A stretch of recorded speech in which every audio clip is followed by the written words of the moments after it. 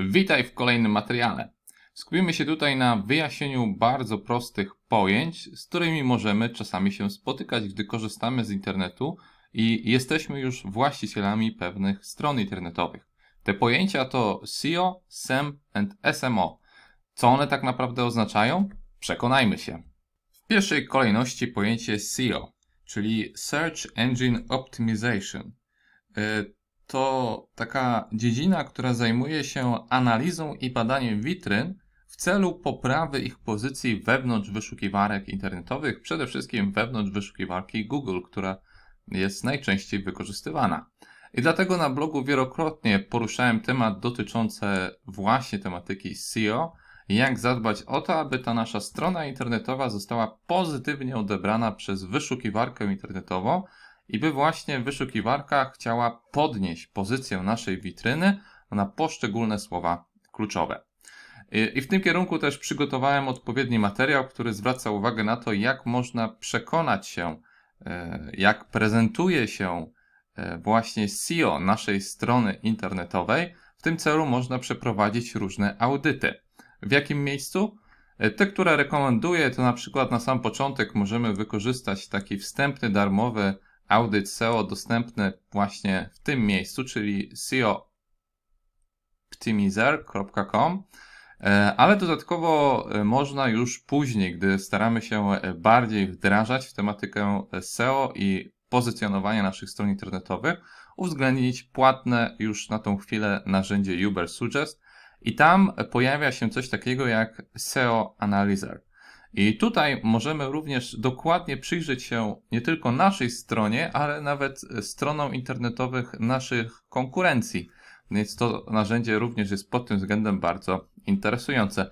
I przekonujemy się tutaj, jaki wynik ogólny uzyskuje nasza strona, jeżeli chodzi o kwestię SEO, jaki mamy ruch organiczny w przeciągu jednego miesiąca, ila, jaka ilość e, poszczególnych słów kluczowych jest widoczna E, wyszukiwarce Google, na jaką ilość słów kluczowych nasza strona jest widoczna, no i ile posiadamy tych backlinków, które również przyczyniają się do promocji naszej strony.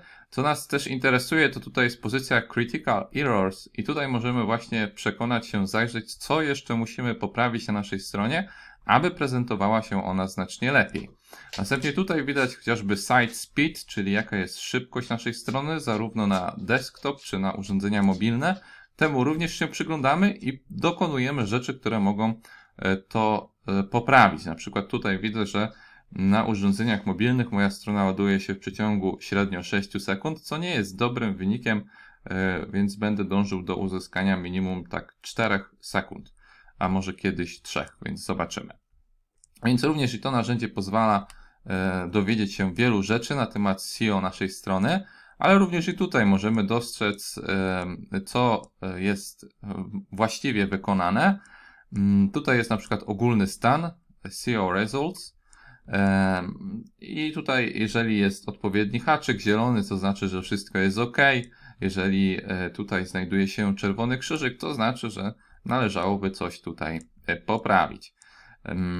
I co okazuje się w tym narzędziu też bardzo cenne, to też widzimy właśnie E, na jakie takie mocno znane słowa kluczowe nasza strona wyświetla się dość wysoko, więc tutaj będziemy mogli to sprawdzić. Mm, dodatkowo jest podsumowanie na wszystkie słowa kluczowe, na które jest widoczna nasza strona w wyszukiwarce. Jak też prezentuje się nasza strona na urządzeniach mobilnych, więc widać, że tutaj jest wszystko dobrze dostosowane. Ale co mi się również też tutaj podoba, to e, dodatkowo są sprawdzane nasze social, które są podpięte do naszej strony, więc wystarczyło, że wpisałem po prostu audyt mojej strony, a przy okazji zostały sprawdzone moje konta typu Twitter i YouTube i te dane również poprawnie się wyświetlają i również jest informacja e, na ich temat. Więc jeżeli chcemy e, dowiedzieć się, jak możemy jeszcze poprawić SEO naszej strony internetowej, to polecam właśnie SEO Optimizer, oraz Uber Suggest SEO Analyzer.